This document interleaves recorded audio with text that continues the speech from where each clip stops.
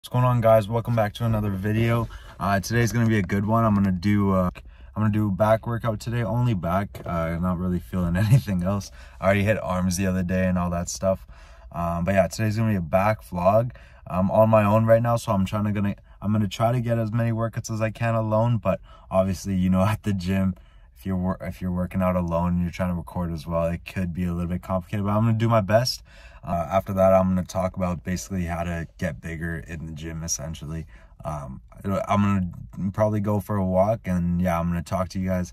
Uh, yeah, I'm gonna give you guys tips on you know how to get mass, how to what you should eat, what you should lift, if you know all the myths and all that stuff. And yeah, I'm gonna try to get um, as many tips as possible and like like i said if you guys have any questions just comment down and i'll see what i can do to reply um but yeah that's gonna be today's vlog and I'm about to go get an energy drink because i have not had any caffeine today.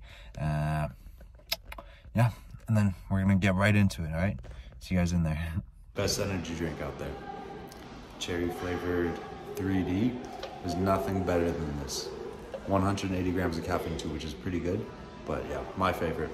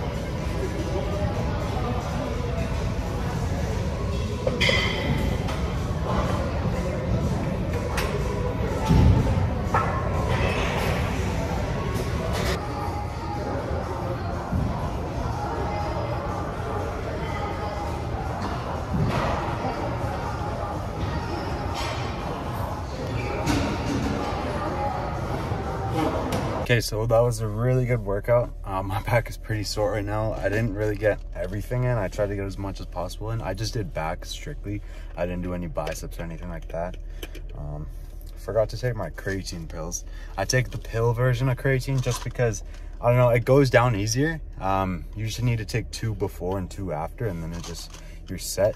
Uh, versus the powder, which sometimes you can't get everything um, because like I don't know. I, I mean at least I can't get everything. I tend to dry scoop the powder which um it's not that good for you because you know you're not supposed to dry scoop creatine pre-workout. You're not supposed to dry scoop any powder even whey protein. Um yeah the pills you just oh, spilled my water. Pills you just take two before two after and there's like 192 capsules in there.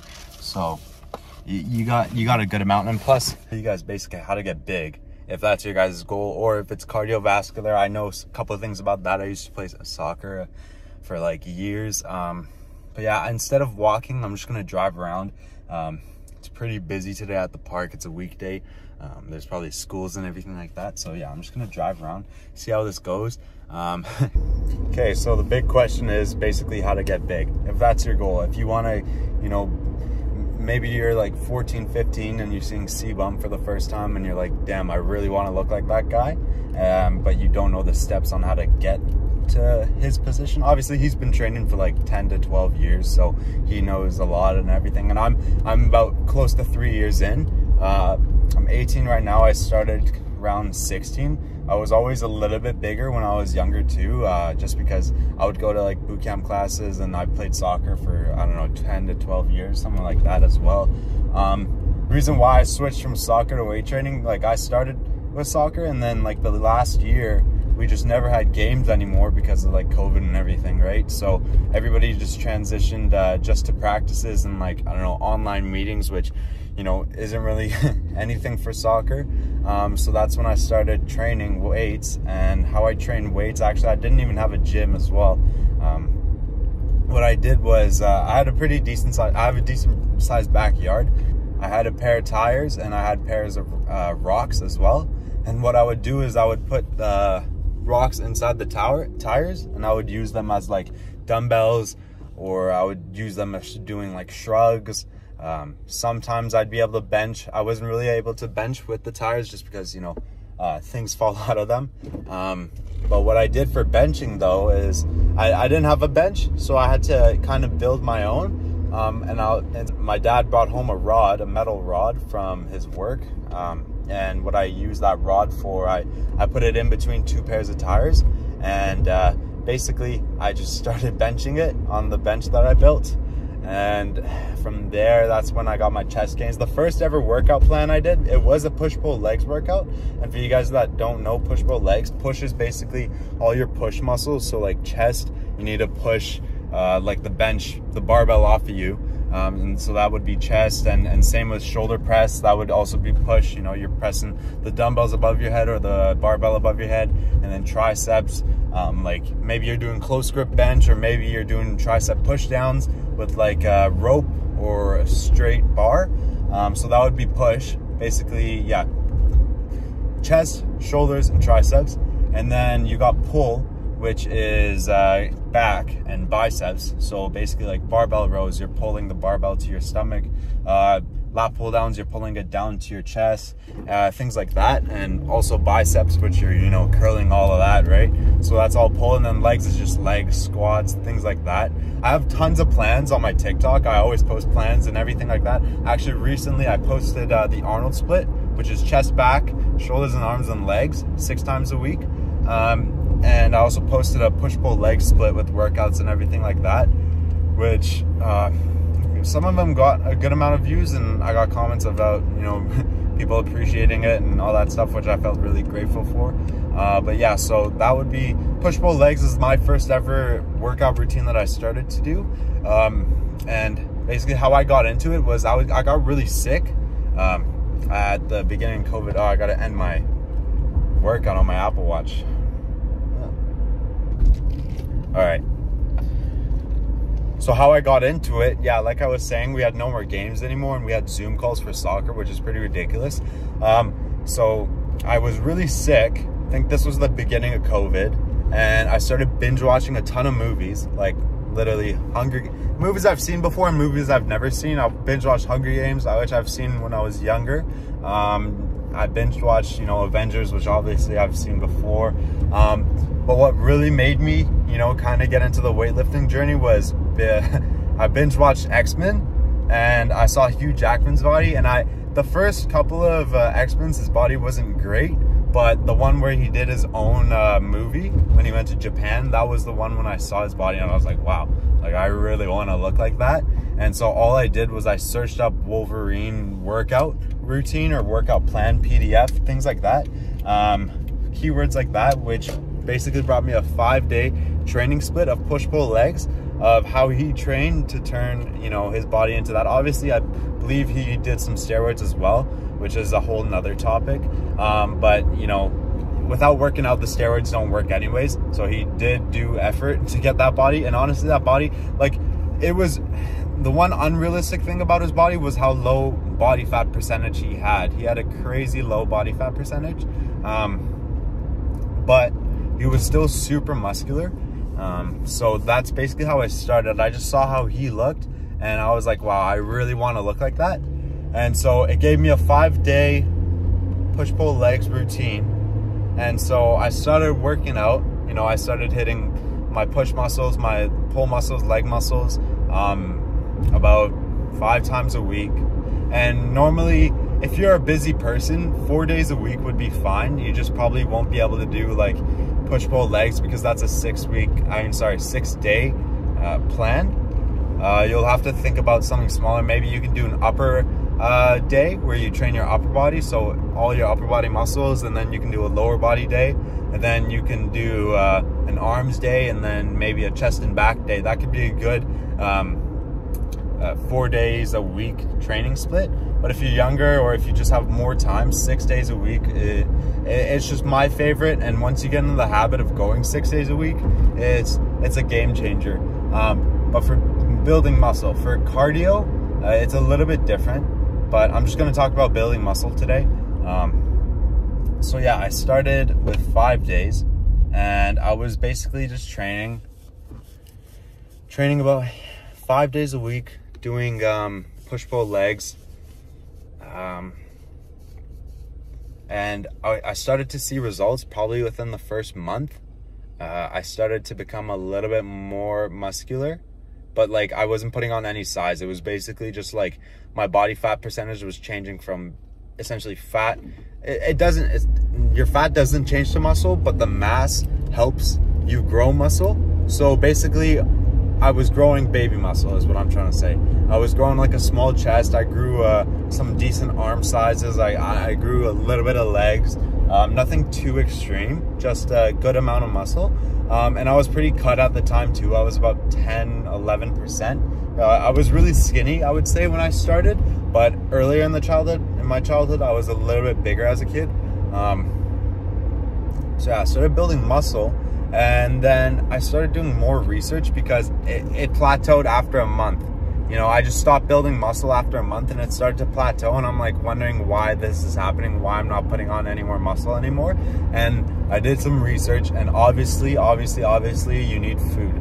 Food is the biggest thing uh, for building muscle and uh, like without, if you're not eating the proper food, and you're working out six, five, whatever days a week, you're never gonna see results. Food is literally, literally everything. For me right now, I'm 205 pounds right now. I'm cutting right now.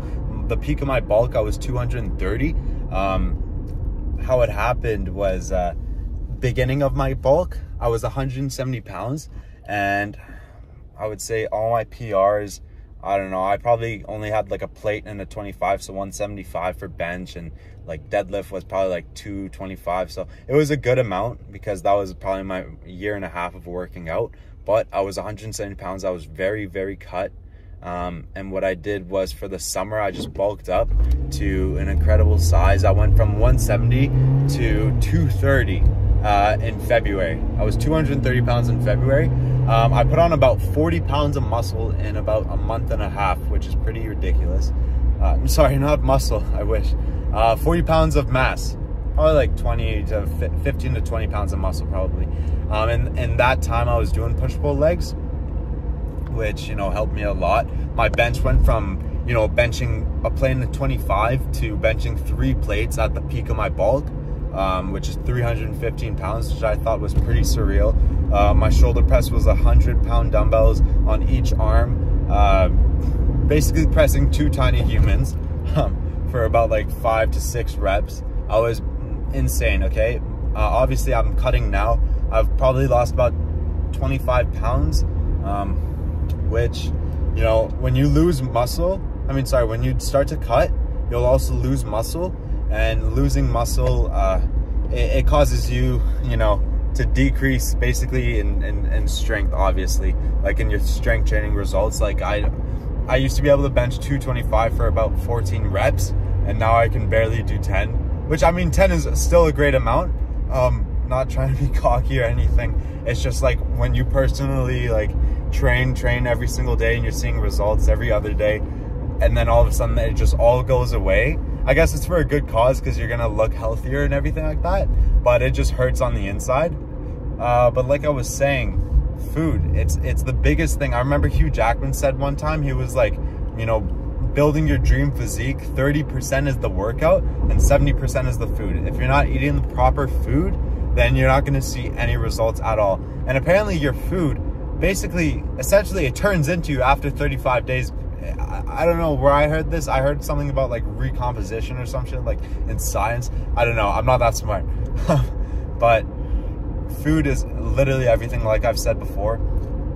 Me, I'll put myself as an example. I'm 205 pounds. My current diet right now, I'm cutting. Uh, what you need to do is you get your weight and you multiply by 12 if you're fairly fairly active like you work out like three to four times a week if you're very active, like you work out six, day, six to seven days a week, then you multiply it by 14. And what happens is that number, it gives you a number. Um, and that number, it'll be your maintenance. So that'll be how much you need to eat when you're uh, just want to maintain and just stay the way you look. Um, so that's gonna be how much you need to eat. And then what you do is upon that, you either add three to 500, depending on how extreme you want um, to put on muscle or lose muscle. For me, it's 500 because I, I, I, would rather just cut faster and then maintain for a while.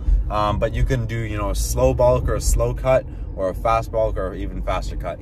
Um, so yeah, you multiply it by 12 or 14 to see what your maintenance is. And then once you figure out your maintenance, uh, you either say if you're cutting, for my instance, uh, you subtract that by 500 just because I choose to. Uh, I believe right now I just need to have around roughly 2100 calories a day to cut. Um, and so now you got to figure out all your macros. Uh, for me, so macronutrients, you got your carbs, your fats, and your protein, and that all is going to be divided by the amount of calories you take in a day. So me, for protein, it's pretty simple. You basically just need to eat a gram of protein per pound of body weight. So I'm 205 pounds. I would typically have 205 to 210 grams of protein a day. 210 is kind of my sweet spot just because I, I like to push it a little bit over.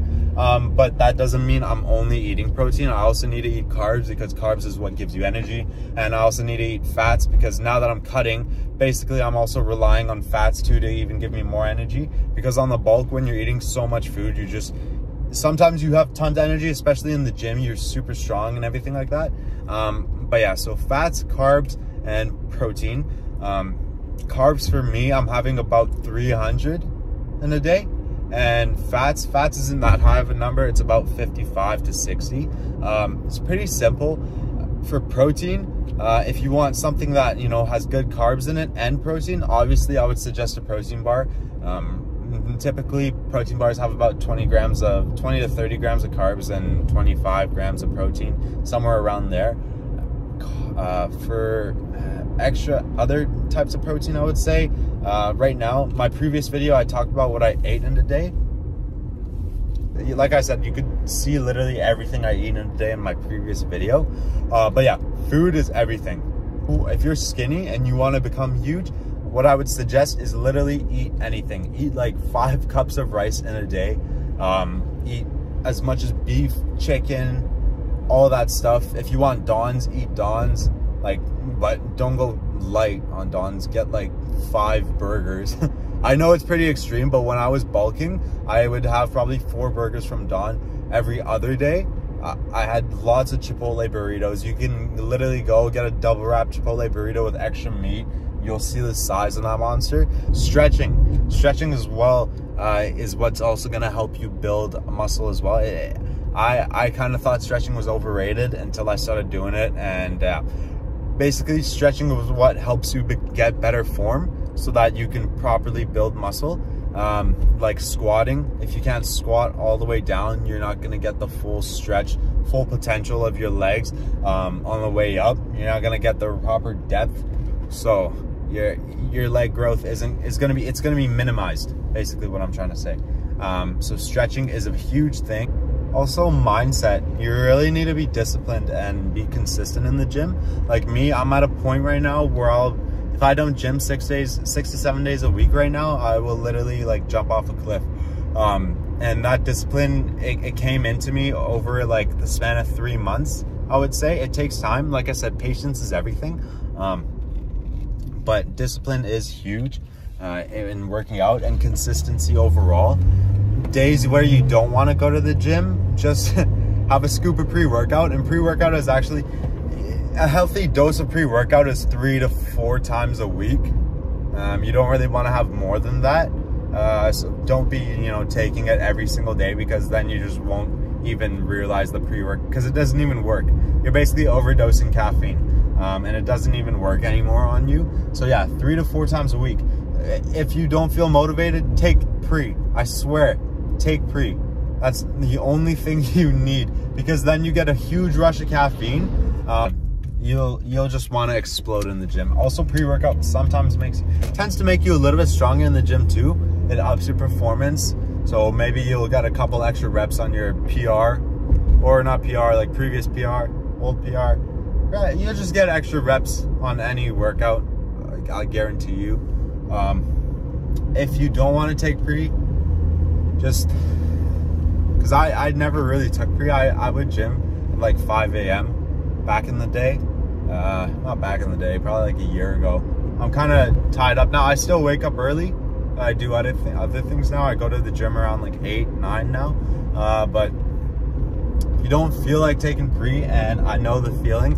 I've woken up in the past at like 5 in the morning and didn't take pre and just went to the gym. Uh, basically, what motivates me is just, I guess, it's like a mindset thing. I I, I really uh, look up to like I don't know soccer players like Cristiano Ronaldo or like Kobe Bryant, where you just got to be the best. You know, you can't let anybody outwork you. Like I, I um, I I was I was compare.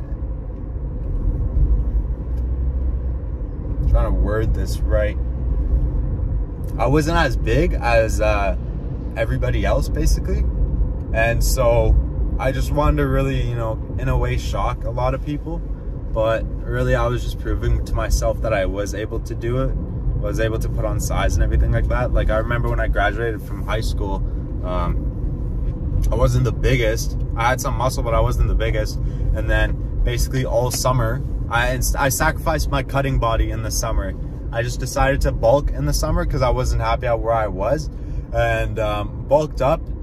And during the summer, I was training and five in the morning, so I rarely would see people from school uh, at the gym because you know who who as a 17 16 year old goes to the gym at 5 a.m it's it's pretty ridiculous when i look back at it um, but i would never see anybody and then uh, there was this one weekend. Weekends I normally go at seven, which is pretty early for a weekend as well, because yeah, nobody goes to the gym at seven on the weekend unless you're an old person. Sorry, um, uh, but I went a little bit later, and this was probably like mid to near the end of my bulk. I went a little bit later, and I was probably close to 200, 210 pounds um, and every like I saw so many people from school. I saw like about I would say 15 people, and everybody was just like anyone that I would say hi to, they would come up to me and say hi. They were just shocked, and it was just like the best feeling on the inside, like like because when you work out, you don't see results, but other people do. Other people really, really, really notice your results. Um, and when people saw me, uh, that I knew in the past, they were just like, they were so, so shocked. They were like, how? Like, what are you eating? Guys that were bigger than me during high school came up to me and they were like, yo, so what, what's your workout routine? What plans do you do? What, how do you bench? You know, things like that. I was getting texts from people on to gym with them, right? And that's another part too. You need to find if you're if you if you can. I didn't have one, but if you want, I would suggest it to find a gym buddy that wants to that have the same goals as you and wants to also become you know big as well. Um because they they'll help push you um just like how you want to push yourself. Maybe if you're not motivated and uh, sometime uh, sometimes you, you get a friend you go with a friend and and um, you guys gym together and you realize you know it, it was worth it right on days you don't want to gym and you end up gymming those are the days that it really pays off. Cause like I was saying, it was just like the the idea of shocking everybody, really, um, and the mentality. So you need to be disciplined. I remember Mike Tyson said something about discipline. He was like, discipline is the things you hate to do, but you do it like you love it, right? Which really like it really sunk into me and I was like that's words small words like that like I'm sure if you look at my TikTok you've seen my room. I literally have a bunch of affirmations on my walls and things like that. Um, so little quotes like that, that that's what really really pushes me um, on days that I don't feel like gymming at all. But yeah discipline and consistency. Motivation is super overrated because motivation uh, there's a cop motivation like yeah you can be motivated but like say you don't feel like gymming now you're not motivated and you don't have the discipline to go to the gym. So then you'll miss out on a gym day. But if you stay disciplined then you'll and consistent then you'll go to the gym every single day. Who cares about motivation? Maybe you'll have like a picture of yourself for motivation but no. Motivation is overrated terribly. Um, it's all discipline. Everything, everything, everything is discipline. Without discipline, you have nothing. So, yeah, three big things. Find your plan, find your workout plan, your workout routine, your workout split. Find that and have a solid plan on how you're going to put, what, 10 pounds of muscle in a month or, or put on 20 pounds of mass in a month. Find that plan. Um, food is the second step. Food is huge. Get a meal plan. I typically suggest four to five meals a day. And you don't want to have huge meals. You want to have smaller meals on the cut. What I do is I have about five meals in a day, uh, but they're small meals. So they're like snack size meals, really. Um, but if you're bulking, then yeah, just eat everything. Have huge meals every single day. Um, and discipline and consistency. Those are the three steps. If you're not disciplined, you're not going to see any results. And if you're not consistent with anything, discipline is it's not just about the gym, it's with anything. Um, so, yeah, plan your workouts, get the proper nutrition, and discipline. That's my suggestion. Future videos, I'll, I'll come out with more uh, workout plans. You can watch my past videos to see basically my what I do at the gym, and you can replicate that. Um, I'll put some sets and all the reps of everything. I'll say them in the video and all that stuff. Um, maybe I'll future video as well. I'll probably you know show you how to stay disciplined, how you can be consistent and see results and things like that. But yeah, that's gonna be the end of this little drive talk podcast kind of thing. Um, hopefully you guys enjoyed. Hopefully you got something taken away from this video.